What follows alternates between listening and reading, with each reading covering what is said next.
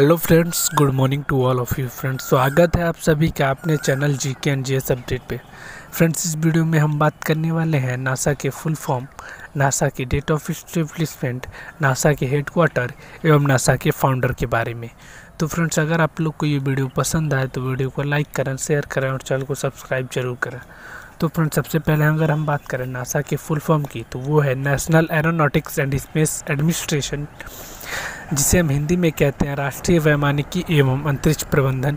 तो फ्रेंड्स, आगे अगर हम बात करें नासा के डेट ऑफ़ इस्टेब्लिशमेंट यानी स्थापना दिवस के बारे में तो friends, national aeronautics and space administration NASA was established on twenty ninth July nineteen यानी कि राष्ट्रीय वैमानिकी एवं अंतरिक्ष प्रबंधन का स्थापना उनतीस जुलाई सन उन्नीस को हुआ था। तो फ्रेंड्स, आगे अगर हम बात करें, नासा के हेडक्वार्टर यानी मुख्यालय के बारे में तो friends the headquarter of national aeronautics and space administration NASA is situated in Washington DC यानी कि राष्ट्रीय वैमानिकी और अंतरिक्ष प्रबंधन, नासा का मुख्यालय वेसिंगटन डीसी में स्थित है। तो फ्रेंड्स, आगे अगर हम बात करें नासा के के बारे में तो friends NASA national aeronautics and space administration was founded by Dwight D Eisenhower कि